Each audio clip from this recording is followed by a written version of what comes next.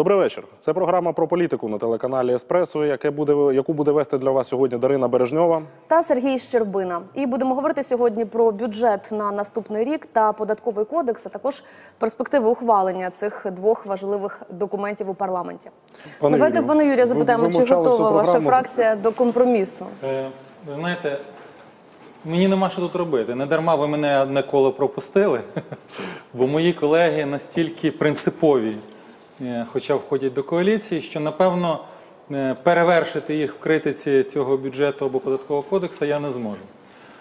Тому я спробую все ж таки, е, щоб ми стали тут державниками. От та позиція, яку мені дуже подобається, Віктор Пензенник займає, і не лише зараз, а взагалі, як економіст, як людина, яка е, намагається здоровий глузд ввести в наші публічні фінанси. Так от, що є бюджет і що є податковий кодекс? І яка роль е, бюджету і податкового кодексу? І, і, і особливо зараз, в умовах економічної кризи. В першу чергу ми повинні стратегічно визначитись, що ми хочемо зараз е, зробити, оскільки економіка йде додолу, е, обсяг е, тих коштів, які надходять, збираються чи за діючими Наступного року ставками, вже зростання чи за іншими ставками. Так от почекайте.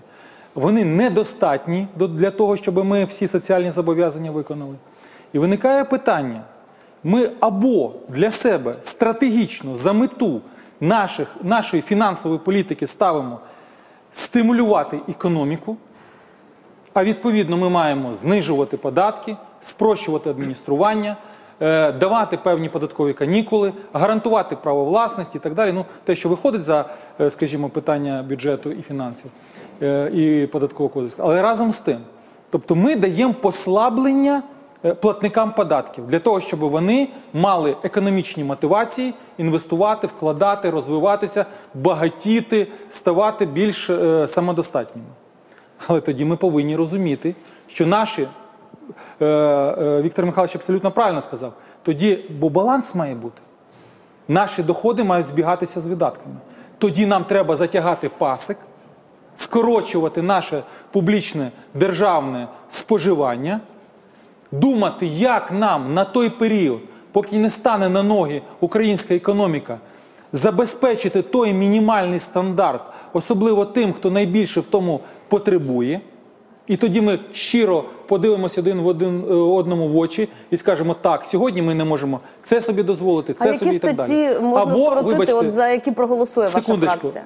А- Або другий підхід. Ми говоримо про те, що е, ми не можемо відмовитись від гарантованих Конституцією і законами тих видатків, які зафіксовані і є зобов'язаннями держави, але тоді говорити про те, що е, наш бізнес має бути стимульований до розвитку, ми не маємо права, бо це буде брехня. І от між двома цими стратегічними питаннями, щодо яких має визначитись в першу чергу коаліція, має вестися дискусія. І тоді це буде чесна розмова. Ну, і тоді, все ж таки якщо уряд з таким позиції? підходом зайде до однієї чи другої, чи третьої фракції, я впевнений, якщо він буде е, аргументований в той чи інший спосіб, він зможе знайти собі прихильників. Із вашої фракції Що теж. відбувається у нас зараз? У нас і не те, ми е, риторику маємо стимулюючу бізнес. Ми зараз спонукаємо, щоб е, країна розвивалася, бізнес розвивався, місцеве самоврядування отримувало більше коштів. А насправді ми закручуємо гайки. Публічно чи не публічно, через ставки, чи через е, штрафи, чи через адміністрування, чи через інші якісь засоби. Ми фіскально видушуємо останні е, соки з цього підприємця. Пане Юрію, я так от в цьому контексті я, я, я завершую, я не так багато говорив, але е, хочу завершити, щоб ви зрозуміли якби, мою думку. В цьому контексті я переконаний, що ми маємо обрати сьогодні е, майбутнє. Майбутнє це стимулювання розвитку підприємництва. І в цьому контексті говорилося про існуючий розроблений кодекс, який став, якщо не консенсусом, то точно компромісом в Верховній Раді. Понад 100 народних депутатів таких законів можна на пальцях перерахувати. А особливо, якщо ми говоримо про економічні закони, які неоднозначні завжди, вони фактично ще не мають прецедента, щоб стільки депутатів об'єдналися довкола цього кодексу. І чомусь уряд сьогодні вважає, що він більше переживає за країну, ніж депутати. Що депутатам не можна говорити правду, як воно є, і так далі. Тобто ведеться певна гра. Я не буду оцінювати. Я поважаю уряд як інститут. Це мій уряд, це уряд України. І ми маємо поважати всіх і міністрів і так далі. Це відповідальність коаліції. Е, Чи будуть вони їх міняти, чи будуть їх підтримувати. Але разом з тим я просто так само звертаю увагу і вашу, і тих, хто нас дивиться, що країна чергової такої нещирої дії не витримає. Юрію. Хотів вас запитати, не встиг під час попереднього блоку. От з ваших слів я зрозумів, що вам у питанні податкової реформи все ж таки ближча позиція президентської фракції, аніж урядова. Я не знаю. Тобто я представляю опозицію сьогодні і не вбачаю е, ворогів ані в фракції прем'єрській, ані в фракції е, президента. Тому що ми всі є народні депутати, всі ми приймали присягу на вірність не будь-якому там лідеру своєму, дійсно українському народові. І коли ухвалюються ті чи інші рішення, ми маємо керуватися інтересами наших громадян. Єдине, що у нас різна роль. У наших колег роль полягає в тому, щоб сформувати програму, під цю програму сформувати команду виконавців і забезпечити цю команду певними е, правилами, да, там, рішеннями, законними, підзаконними актами, постановами і так далі. І так далі. Що стосується ролі опозиції, то вона має стежити, щоб на цьому шляху права громадян не порушувались. Тобто не мета опозиції критикувати заради критики, е, заради самопіару, заради того, щоб, знаєте, чим гірше, тим краще. А заради того, щоб за благими намірами наших колег ми не втратили дуже важливу цінність, якою є права людини і громадянина. І от в цьому контексті я і виступаю. Я беру участь в дискусії, першу чергу, як я, я як правник. І я з правової точки зору можу оцінювати, з загального свого політичного досвіду можу оцінювати, бо так чи інакше ми беремо участь в роботі парламентських е, комітетів, в дискусіях публічних і так далі. Е, Що стосується е, нашої ролі в цьому процесі, ми її намагаємось сумлінно виконувати.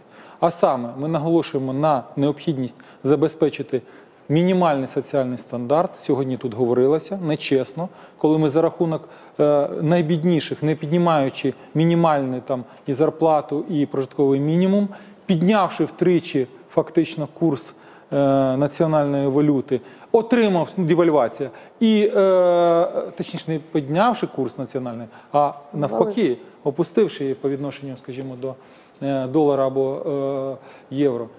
Е, і так само ми е, стикаємось з тим, що люди і, інфляція, тобто дорожче стають товари і послуги. Ми залишаємо громадян фактично нижче е, реальної черти бідності Тобто ви як опозиція контролюєте видатки, а ви і пропонуєте повинні якісь е, ні, варіанти ні, надходжень? Не лише ми, кожен з представників опозиції, беремо участь в роботі комітетів. Ми ж не просто так собі зібралися, тільки там раз на чи два рази на місяць, і там собі поговорили, щось проголосували. Так от, власне, цікаво, За цим стоїть велика робота. І ми в комітетах, як е, люди, які розбираються в кожній з своїх, е, скажімо, галузей, ми працюємо, вносимо поправки, пропонуємо, як зробити краще. Пане Юрію, от скажіть, ну де взяти гроші? Закрити офшори, конфіскація майна, можливо, зробити прозорою митницю? Я не вірю в ці механізми. А в які я не вірю в механізм спецконфіскації. І ви вже навіть самі сказали, пройшло два роки, ніхто нічого не конфіскував, і тут є елементи корупції, і тут є елементи об'єктивні. А в що вірить Тому що інколи наші, наші прагнення щось забрати і поділити, як колись Ну, Пане Юрію, це як в старій, вони не відповідають це як, як в старій міліцейській поговірці, так? Це Е, не а ваша заслуга, а наша недоработка. Так, дуже часто так відбувається. А от за рахунок чого я би бачив, з- ну, скажімо, збільшення бюджетних коштів, це за рахунок стимулювання економіки. І отут критикували е, парламентський комітетський так званий податковий кодекс. Ми повертаємось до теми нашої розмови. І чому я за нього виступаю? Згадали зниження в 4 рази е, соціального податку сукупного. Так, дійсно це є. Я не є спеціалістом е, і, і не хочу говорити про самі ставки.